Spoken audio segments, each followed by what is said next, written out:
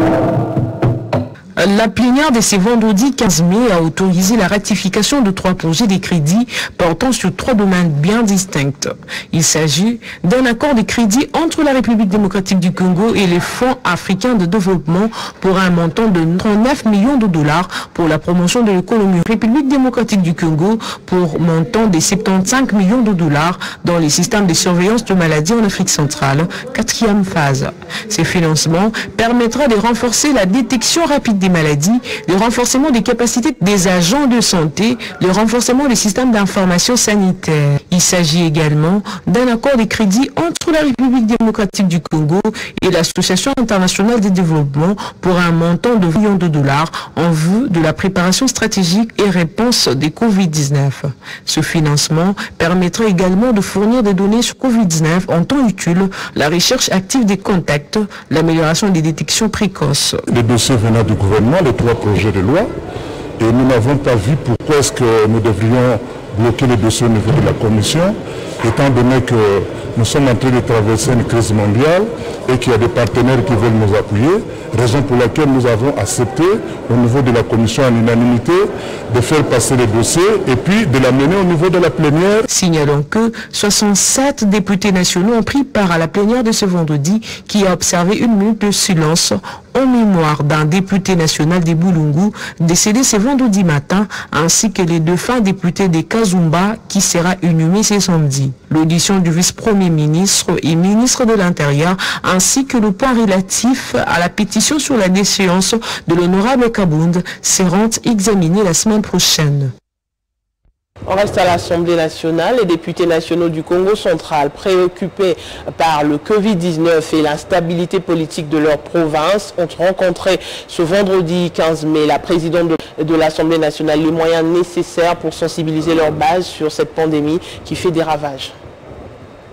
En trois semaines seulement, cette province voisine à la ville de Kinshasa compte déjà 55 cas officiels identifiés. L'honorable présidente Janine Mabunda a promis d'examiner la question pour une solution idoine. Les échanges ont également tourné autour de la situation politique au Congo central, caractérisée par un flou juridique depuis la fameuse affaire des Mimi. Nous avons demandé à la présidente si elle pouvait nous assister pour que nous puissions examiner la possibilité de sensibiliser notre base pour arriver à freiner l'expansion de cette pandémie dans notre province. Elle a dit qu'elle allait nous assister, elle allait voir les mécanismes qui sont en place pour trouver des voies et des moyens pour nous assister dans notre préoccupation. Selon le porte-parole de ces élus, cette cohabitation difficile entre l'Assemblée nationale et le gouvernement provincial a des conséquences néfastes sur le fonctionnement de la province. Il apparaît de lors urgent de rétablir la légalité pour que le Congo central joue pleinement son rôle de moteur de développement.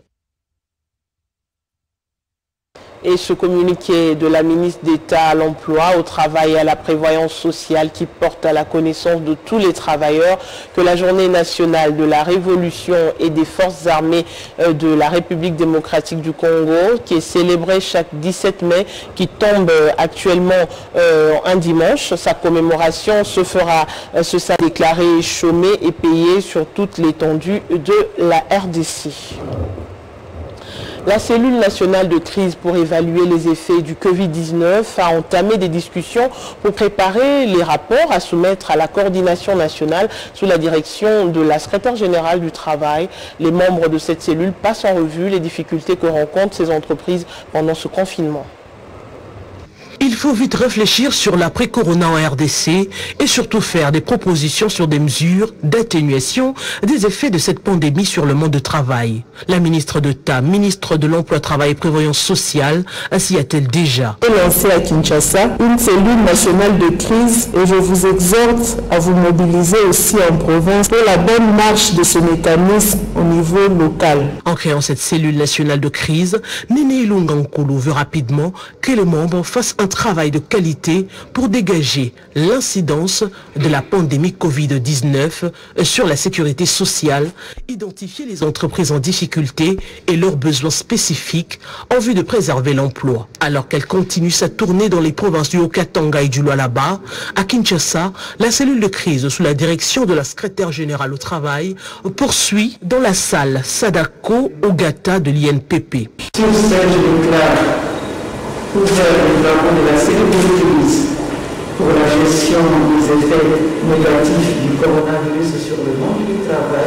une réunion qui a permis aux membres de la cellule de crise de suivre le rapport détaillé sur les entreprises INPP, CNCS, ONEM et l'inspection générale du négativement sur les entreprises et les travailleurs. Il faudra donc proposer un canevas de relance et de soutien de ces entreprises pour sauver l'économie congolaise sérieusement touchée. Dans le même chapitre, 1400 employés sont à la porte suite à la suspension du contrat de prestation des services entre Frontier SA et Rulco. La ministre de l'Emploi, Nene Ilungankulu, a engagé un dialogue social pour demander à Frontier de revoir sa décision. Et pendant ce temps, chez Chemaf, une plainte au tribunal de commerce pénalise le paiement des travailleurs de Phoenix. Regardez. C'est une journée chargée pour la ministre d'État ministre de l'Emploi, Travail et Prévoyance sociale, et son collègue ministre de Mines, qui démarre par l'entreprise Chemaf, où depuis quelques jours, les effets de la Covid-19 se font sentir. Les deux membres du gouvernement, Nene Ilungankulu et Willy Kitobo, ont pris le temps d'écouter attentivement les mobiles qui ont poussé Chemaf à des négociations qui aboutit au départ de certains de ses agents à l'usine Issoke dans le strict respect de la convention sociale en vigueur en RDC. Les donnes ont changé et dans toutes les entreprises, on a préféré les négocier avec les travailleurs, surtout prendre la formule des congés techniques au lieu de licencier les travailleurs. leur présence a exactement été un choc, un déclic pour faire respecter les cours du travail. Un autre dossier brûlant, les roues de l'entreprise minière Temicolf Africa Chemaf ne tournent pas à plein régime et pour cause une plainte déposée au tribunal de commerce par un contractant de sous-traitant Chemaf, situation qui a fait geler le compte de ce dernier. Ce contentieux. Donc, de pouvoir s'impliquer et de pouvoir nous aider parce que nous avons travaillé. Informé de la présence de la patronne du travail au Katanga, ils sont descendus dans les rues pour exiger que solution se trouver à leurs problèmes. Le cortège de Nene Ilungankulu a été bloqué au gouvernorat du Haut-Katanga pour remettre leur mémo. Mémo qu'elle a réceptionné en demandant aux manifestants de rester calmes le temps que la cellule de crise examine la question. Depuis le 23 avril 2020, l'entreprise Frontier SA a suspendu le contrat de prestation des services qui le lie avec Rolvis Congo depuis le 18 octobre 2018, mettant en péril 1400 employés dans le territoire de Sakania. Les responsables de ces deux entreprises, Frontier SA et Rulco, ont été reçus séparément par la patronne de l'emploi pour trouver un compromis et sauver 1400 emplois et rendre équilibre la situation économique à Sakania. Le 15 mai de chaque année, l'on célèbre la Journée internationale des familles. Ce 25e anniversaire survient pendant l'une des pires crises sanitaires et sociales à l'échelle du monde. En RDC, la ministre d'État en charge du genre, famille et enfants a appelé les familles congolaises à promouvoir le dialogue entre les membres et à barrer la route à toute forme de violence domestique. On écoute Béatrice Loméa. La commémoration de cette journée proclamée par les Nations Unies traduit l'importance que la communauté internationale attache à la famille, c'est des bases de toute société, ainsi que l'intérêt qu'elle porte à la situation des familles de toute société et culture dans le monde. Relative à la famille ainsi que les processus socio-économiques et démographiques qui l'affectent. La journée internationale de la famille nous incite à réfléchir sur la possibilité de mettre en place une politique cohérente en faveur de la famille et en fait de réduire les inégalités. L'édition 2020 de la Journée internationale de la famille est célébrée sous le thème Famille dans le développement Copenhague et Beijing plus 25. À travers ce thème, la famille est invitée pleinement à participer à l'atteinte des objectifs de développement durable conformément à la déclaration de Copenhague et à la déclaration et le programme d'action de Beijing. Mes très chers compatriotes, En République démocratique du Congo, cette journée que nous commémorons depuis quelques années constitue un moment de communion entre les familles et le gouvernement de la République. À l'image des autres nations du monde, la République démocratique du Congo célèbre l'édition 2020 de la Journée internationale de la famille dans un contexte où l'humanité entière fait face à la crise sanitaire et sociale la plus difficile de ces dernières décennies due à la pandémie au Covid-19. Cette crise sanitaire qui, de manière inopinée, a modifié notre quotidien n'est pas sans conséquence sur la structure et la cohésion familiale. Nous en appelons donc à plus de dialogue dans la famille pour éviter l'accroissement des violences domestiques afin de préserver. Lutte contre le Covid-19 en RDC, les autorités multiplient la stratégie. Et pour booster leurs efforts, des experts chinois qui sont arrivés pour accompagner l'équipe de riposte ont été reçus ce vendredi par Guillaume Monjolo, ministre de la coopération internationale. Le chef de la délégation chinoise a affirmé que son équipe va euh, apporter son expérience dans la prévention et la prise en charge des malades. Les experts chinois arrivés à Kinshasa mardi dernier pour aider la RDC dans la lutte contre le Covid-19 ont été reçus ce vendredi 15 mai par le patron de la coopération en RDC, Maître Pengion Manjolo. Cette équipe va apporter son expérience dans la prévention et la prise en charge de maladies, va donc travailler avec l'équipe des ripostes contre le Covid-19 en RDC, coordonnée par le docteur Mouyembe. Maître Pengion Manjolo le précise. Depuis le début de la pandémie, j'ai saisi euh, plusieurs partenaires, dont notamment la Chine. C'est pour la quatrième fois que la Chine intervient. Dans un premier temps, c'était avec du matériel qui avait été donné, qui devait normalement servir pour Ebola, mais qui a été transféré pour la gestion de la pandémie du Covid-19, suivi de l'entreprise Alibaba qui a fourni un lot très important de matériel aussi dans le même cadre, suivi d'autres matériels. Et aujourd'hui, on a ce qu'on appelle euh, la mutualisation des compétences et l'échange d'expériences à travers cette importante délégation de médecins, d'experts, qui vont devoir travailler avec euh, leurs collègues de l'INRB autour de M. Mouyembe, de sorte à trouver les solutions les plus rapides possibles pour euh, la population congolaise, pour faire face part du coronavirus, devenu une pandémie mondiale, a décidé de soutenir la RDC, signalant que cette équipe était conduite par l'ambassadeur chinois en RDC, Xu Jing. Et puis, les conseils de ministres extraordinaires des États membres du COMESA, tenu hier en vidéoconférence, a travaillé sur les lignes directrices en ce qui concerne le Covid-19, de mesures à prendre par rapport à la circulation de biens et de personnes, une réunion convoquée pour examiner un ensemble de directives régionales découlant de la réunion intergouvernementale des experts des États membres du COMESA tenue mardi 12 mai dernier. Manjolo est revenu sur le bien fondé de cette réunion. C'était la réunion extraordinaire euh, qui devait euh, travailler sur les lignes directrices en ce qui concerne euh, les Covid-19, les mesures à prendre par rapport à la circulation des biens et des personnes. Et il y avait un sujet aussi par rapport au bâtiment qui abrite le secrétaire général et euh, sur lequel il fallait prendre une décision ou entériner l'ancienne décision qui a été prise euh, par le Conseil en novembre passé. Mais dans trois semaines, nous allons revoir encore en Conseil extraordinaire pour non seulement évaluer l'évolution du Covid-19, le même groupe d'experts chinois a été présenté au gouverneur de la ville de Kinshasa, étant jusque-là épicentre du Covid-19 en RDC. Cette équipe va travailler en collaboration avec les médecins congolais dans la lutte contre la pandémie.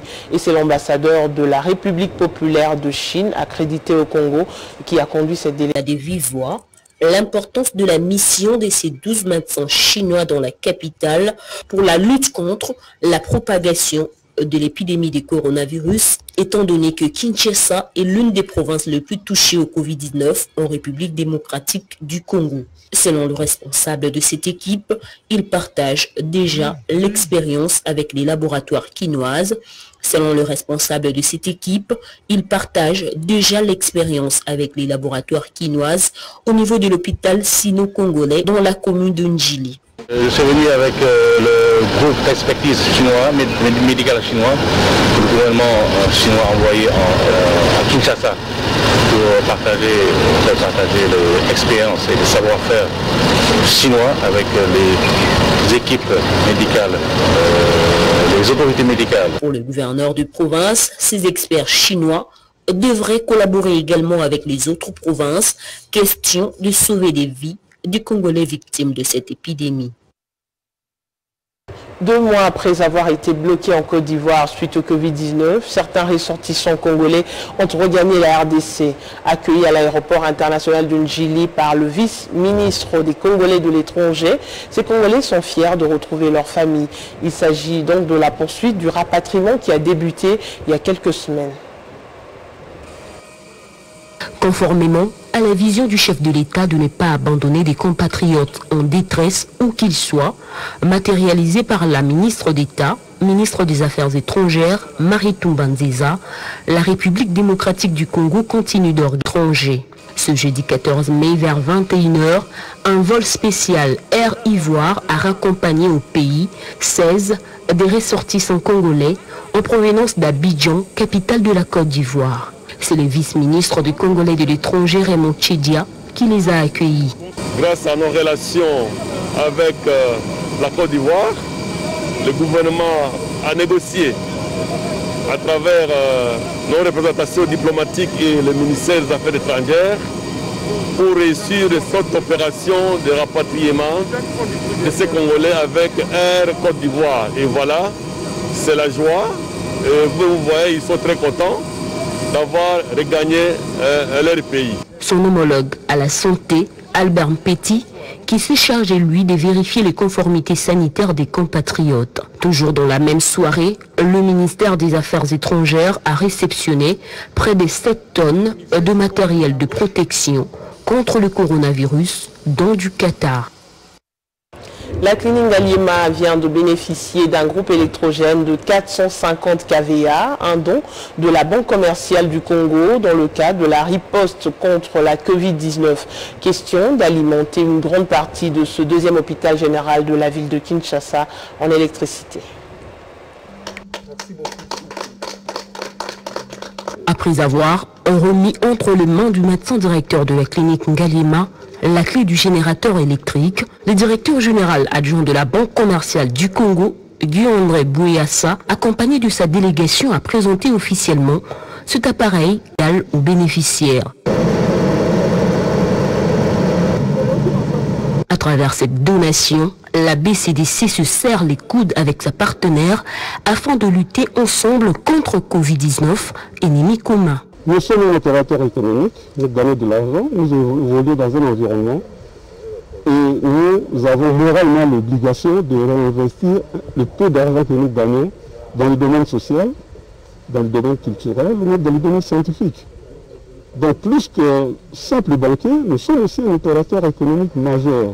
Le, le besoin, nous l'avons défini ensemble. Donc nous avons fait ça pour soutenir un partenaire et par ailleurs, nous entretenons une très bonne relation commerciale d'affaires avec euh, la clinique Galima.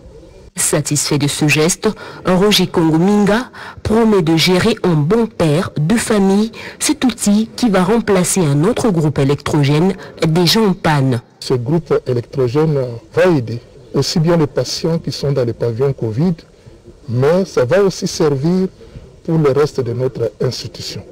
L'intervention de cette banque privée vise à soutenir également les autorités du pays. En croit Guy-André Bouéassa, l'action posée ces jours est un fruit d'un partenariat équilibré entre les deux institutions. C'est une façon pour la BCDC de remplir sa responsabilité sociale envers la population congolaise. L'autorité de régulation et de contrôle des assurances salue la signature du mémorandum d'entente avec la Banque centrale du Congo. Le but étant de renforcer pour Alain Kaninda, DGA d'intérim de l'ARCA. Cet accord marque une nouvelle étape dans la libéralisation du secteur d'assurance en République démocratique du Congo. La symbiose et le fonctionnement efficace des deux pans de notre secteur financier, combinés à l'avènement des marchés de capitaux, ont pour vocation de doter le pays de ressources substantielles de qualité pour le financement de l'activité économique et partant du développement économique de notre pays. Ces propos du directeur général ad intérim de l'ARCA marquent une nouvelle étape non seulement dans la matérialisation de la coopération entre son institution et la Banque centrale du Congo, mais surtout dans le processus de la libéralisation du secteur des assurances. Ce que nous célébrons aujourd'hui est une étape majeure dans le processus de libéralisation du secteur des assurances qui a progressé grâce à son Excellence, Monsieur le Président de la République, chef de l'État, son Excellence Félix-Antoine Tshisekedi Chilombo, à qui nous rendons un vibrant hommage. Et elle n'aurait pas pu euh, non plus évoluer sans le soutien de leurs excellences, Monsieur le Premier ministre, ainsi que le ministre des Finances, que nous voulons à juste titre porter aussi au pinacle. Pour le gouverneur de ces institutions monétaires, la signature de ce mémorandum d'entente va booster le développement harmonieux du marché financier en République démocratique du Congo. La Banque centrale du Congo et l'ARCA sont les deux autorités de régulation et du contrôle de notre système financier qui sont appelés, collaborons déjà, même pas de manière informelle, vous l'avez souligné, la Banque centrale est membre du conseil d'administration de l'ARCA. La synergie des de ces deux régulateurs offre un cadre idéal de collaboration pour le partage d'expériences et d'informations. Les deux parties s'engagent résolument à conjuguer leurs efforts pour une lutte active et efficace contre la fraude et le blanchiment des capitaux au pays. Des voix se sont levées pour fustiger le comportement de Pascal Moukouna qui a tenu des propos discourtois à l'endroit de l'ancien chef de l'État, Joseph Kabila. Cette fois-ci, c'est l'association culturelle Jama, proche des deux familles, c'est-à-dire celle de M. Laurent Désiré Kabila et de la veuve Sifa, qui hausse le ton et veut avoir des preuves auprès de l'évêque Moukouna sur ses multiples déclarations. On écoute euh, Jean-Claude Kipindoula, membre de la Jama, au micro de Valok Ménipoli les propos de Pasteur Moukouna a vexé toute notre famille. Surtout les deux propos-là disant que Joseph Kabila n'est pas fils du feu Laurent Désiré Kabila. Il va nous le prouver. Il est censé de, le prouver. Parce que la maman de Joseph, elle est vivante. Elle doit montrer à cette femme-là qui parmi les maris qu'il a mis enceinte pour enfanter le, fils Joseph Kabila. De deux, il nous a révélé que si Laurent Désiré Kabila est mort, c'est Joseph qui a tué son père. Il a le preuve, mais devant, malgré on, a, on nous a laissé entendre qu'il est appréhendé quelque part, on ne sait pas si dans une commune ou ailleurs, je ne sais pas où, devant le commissariat de la police, mais nous ne pouvons pas le laisser partir comme ça, sans pour autant qu'il puisse nous le prouver que c'est Joseph qui a tué son père. C'est Joseph. Joseph n'est pas le fils de Kabila. Joseph, c'est un Rwandais. S'il faut se déplacer, quitter Kinshasa vers le Rwanda, oui, on le fera ensemble avec lui. Il va montrer son, père, son père, son père biologique. Et ce n'est pas un petit garçon qui va parler de n'importe quoi. Les propos qu'il a tenus là, il est censé hein, maîtriser, de, maîtriser tout ce qu'il connaît hein, à propos de, de l'ancien président. Donc nous ne pouvons pas lui laisser. Si nous sommes venus ici devant la presse, c'est pour donc, faut faire voir à tout Congolais que nous n'allons pas rester bras croisés contre M. Moukouna. Il doit nous prouver les deux propos qu'il a tenus à l'égard de Joseph Kabila. Déterminée à conserver à tout prix l'identité katongaise, la Fondation katongaise a procédé à la redynamisation de cette structure dans l'objectif majeur, celui d'organiser les élections dans les tout prochains jours des membres du bureau qui devront conduire cette fondation. La cérémonie de redynamisation s'est déroulée ce vendredi. Dans le souci de redynamiser la Fondation Katongaise, le président et délégué des 18 associations socio-culturelles, membres de cette structure qui a pour mission de maintenir l'unité katongaise, y compris les Bouvanoua-Batabois, ont fait appel au président national démocratiquement élu depuis 2015, le docteur Gulen Machinungongo, de reprendre les commandes de la Fondation Katongaise. Le vice-président Raphaël Mututa a assumé son intérim, dont le mandat est largement dépassé passé, question de mettre fin à l'intérim de celui-ci et de procéder ainsi à l'organisation de nouvelles élections. Au cours de leur entretien, plusieurs points ont été à l'ordre du jour, à savoir la présentation de membres présents à la réunion, le mot du président et le divers. Satisfait de constater le retour du docteur Guilain Machine aux affaires, ces derniers ont manifesté leur soutien indéfectible au président pour amener la fondation au-delà des attentes de ses membres. Au sortir de la réunion, le président est revenu sur la motivation de cette activité et occasion pour ces derniers de recadrer les détracteurs qui pensent semer les désordres au sein de cette structure qui a pour vision de consolider l'unité, la fraternité et la solidarité des Katongais. Nous sommes réunis pour parler de ce qui concerne les intérêts de la Fondation katangaise et du Katanga. Plus spécifiquement aujourd'hui, toutes les associations socioculturelles membres de la Fondation katangaise étaient présentes, même Pumba Nous tournons le cap maintenant vers les élections pour qu'on puisse mettre en place un nouveau comité. Le député national Joseph Kokonyangui a accordé une audience au docteur Jérôme Mouniangui pour l'encourager à continuer ses recherches en vue de trouver un remède efficace contre la pandémie de coronavirus. Le docteur Mouniangui à son tour a promis à tous ses frères de faire tout pour leur redonner. Docteur Jérôme Wankola a été reçu en famille par le député national et professeur Joseph Kokonyangi Witanene dans sa résidence à Kinshasa. Un fort moment entre frères, sourire aux lèvres, chacun d'eux a été ému de joie de se retrouver dans ce cadre. Comme toute bonne famille, l'élu d'Empangui a profité de l'occasion pour encourager son frère afin qu'il fasse ce pourquoi il est à Kinshasa. Je suis heureux d'avoir rencontré euh, un scientifique pointu euh, congolais du Maniema, de Pangui, qui a été invité pour des raisons de santé publique.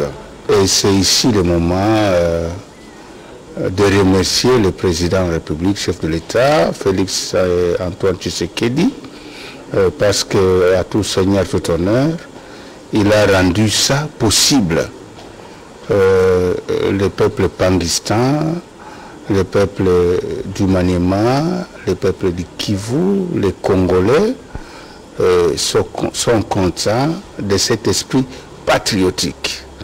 Euh, parce que nous pensons que notre frère va amener un plus dans l'équipe de riposte. Et nous en sommes sûrs parce que nous connaissons ses qualités. Nous avons prodigué des conseils euh, à notre éminent chercheur de se concentrer à la mission lui confiée par le président pour que nous ayons des résultats très de son côté, Jérôme Mouniangui Wankola s'est dit ému de joie pour cette réception en famille. Il en a ensuite remercié Joseph Kokonyangui Witanene pour cette initiative et ses conseils importants et qui viennent une fois de plus le révolter faire mieux. Il a enfin promis à ne pas décevoir sa famille. En vue de se rendre compte de l'évolution des travaux de réfection de l'hôpital général de référence Jason Sendwe et de se rendre compte du fonctionnement du grand labo de Lubumbashi, le gouverneur de la province du Haut-Katanga, Jacques Aboulakate, y a effectué des visites ce vendredi 15 mai, à l'issue desquelles l'autorité provinciale s'est dit satisfait du résultat. Accompagné des ministres provinciaux des infrastructures et de la santé, le gouverneur de la province du Haut-Katanga, Jacques Kaboulakate, a commencé sa visite de ce début de week-end à l'hôpital général de référence Jason Sendwe. Ici, l'autorité provinciale est venue inspecter l'évolution des travaux du programme de 100 jours initié par le chef de l'État, Félix Antoine Tshisekedi. Visiblement, ces travaux avancent normalement bien, sauf un peu de retard enregistré par rapport à la maladie du coronavirus. De la salle de réception jusqu'à la salle de soins intensifs, le gouverneur Jacques Aboulakatu a eu droit aux explications des travaux effectués à plus de 115% et les machines attendent d'être installées. Par la suite, le gouverneur s'est rendu au grand labo épidémiologique de Lubumbashi. Ici, les laborantins ont eu l'occasion de donner des explications au gouverneur sur le fonctionnement de cette boîte. À en croire les explications de ces experts, ce labo est capable d'effectuer les tests virus disponibilisés. Le gouverneur Kabula Katoué a donc été impressionné des équipements trouvés dans ce labo. Je voudrais aussi exprimer euh, euh, ma satisfaction du fait que je viens de visiter le grand labo. Je suis impressionné de constater que le grand labo est bien équipé et le grand labo est prêt même à accueillir les tests de Covid-19 la province du Haut-Katanga enregistre de plus en plus des centres hospitaliers modernes capables de prendre en charge les malades souffrant de quelques pathologies qui avant nécessité une évacuation vers l'extérieur. L'hôpital général de référence de Manguéji, Mwangeji, dont la province du Lualaba vient de bénéficier encore à ce jour d'un important lot d'équipements médicaux et des appareils. Un don de l'international basketteur congolais de la NBA, Bismarck Biyombo, œuvrant aux États-Unis d'Amérique. Ceci est la concrétisation d'une promesse faite à la province lors de son passage au mois de juillet 2019 au Lualaba. La transformation que subit la ville de Kolosi, chef-lieu en particulier, et la province du Lualaba en général, continue à épater plus d'une personne qui n'ont pas d'allouer à chaque fois la crédibilité à son meneur des jeux, le gouverneur Richard Mouyej qui s'est assigné pour mission première de son mandat, rendre service et justice à ses administrés, une crédibilité dont ses effets séduisent les personnes et les organisations tant nationales qu'internationales. Le cas de ces basketteurs de son passage dernier en juillet 2019 était ému d'apercevoir de ses propres yeux les efforts mis en place de la province du Lualaba qui revêt de sa nouvelle robe comparativement à celle de jadis. Les gens ces idées de nous aider à aller de l'avant de la joie. Pour appuyer ses efforts de modernisation de la province, Bismarck avait promis son apport à cet élan de développement. Après près de cinq mois, le père géniteur de cet international basketteur, François Biyombo, administrateur de la fondation Bismarck, est venu quant à lui faire part au gouverneur de la concrétisation de la promesse faite par son fils pour accompagner la province du Lualaba. Une promesse tenue c'est un important lot d'équipements médicaux que le basketteur international congolais vient de mettre à la disposition de l'hôpital général de référence Mangezi, constitué de lits, de chaises roulantes, de respirateurs et autres appareils présentés ici de manière symbolique au gouverneur Richard Miege Manguezmans qui se sent honoré de ce désormais fils maison. Ce n'est qu'un échantillon qu'on nous a présenté. Les gros est déjà mis dans le dépôt. C'est impressionnant. Nous sommes très touchés et la jeunesse doit savoir que c'est pour elle qu'il est venu. Avec ces dons, l'hôpital général des références Mwangezi continue à être renforcé en équipement à la satisfaction du gouverneur Richard Mouyej qui voudrait le voir ici au rang de meilleurs hôpitaux de la République démocratique du Congo. De référence, il y a de quoi l'accompagner. Dans la province du Haut-Ouélé, le gouverneur Christophe Basséane a organisé une rencontre de réconciliation entre Willy Roger Tongolo, les deux frères leaders de la famille régnante en chefferie Mayo Gomaboso. Au cours de cette rencontre, tenue ce vendredi à Isiro, l'autorité provinciale a surtout insisté sur la collaboration qui devra régner entre le secrétaire administratif de la chefferie et le chef désigné pour le bien-être de la population sobre, mais bourré d'une forte charge symbolique, que cette rencontre entre Willy et Roger Tongolo autour de Christophe Bassien-Nonga était tout simplement surréaliste pour de tireurs du ficelle du malentendu entre le secrétaire administratif et le chef désigné de la chefferie Mayogo Mabozo. Au sortir de cette séance inédite de conciliation des vues, initiée par le gouverneur du Haut-Tuélé, les deux frères représentés comme de rivaux apaisent les esprits. chef roger na yaya na secrétaire administratif ya chefferie bakotambola nzela moko te mais lelo torasire bango ke banda lelo na ndako na mokonzi na etuka ya likolo tokosala mosala elongo tokosimba na maboko na apui na ye mokonzi ya etuka ya likolo cheferi mayogoma bozo ekokende liboso Même sentiment pour Roger Tongolo, chef désigné de la chaufferie. tokotravaille elongo makambo nyonso mosala nyonso ya chefferie tokotravaille esika moko tokozala ata na teseda moko te De son côté, l'administrateur du territoire de Rungu, Jules Magbaï, se veut rassurant. que l'entité continuera à fonctionner comme les choses fonctionnaient bien avant.